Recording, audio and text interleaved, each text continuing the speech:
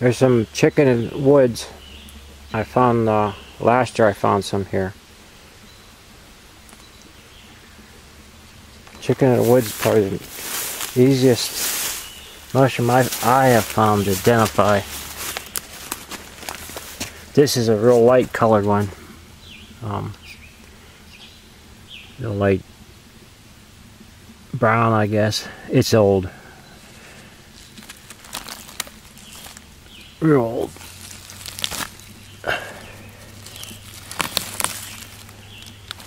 Probably still eat it.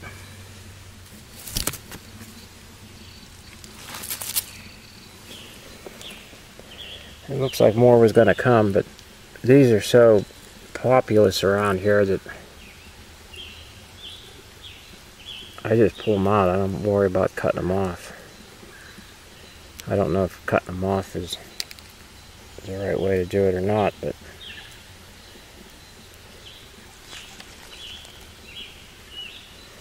and it's at the bottom of a cherry tree.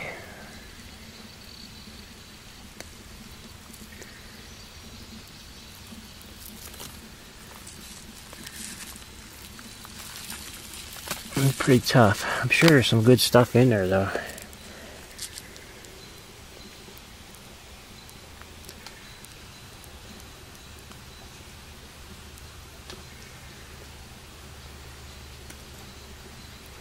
You see it looks like pores. That's I guess why they call them polypore.